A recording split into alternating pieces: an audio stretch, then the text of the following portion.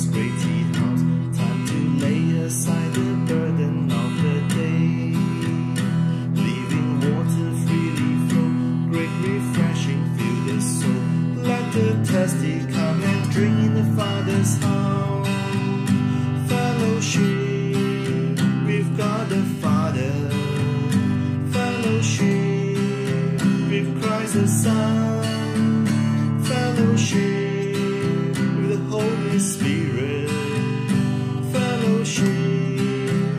With in One. That's a call going up from the Father's great house.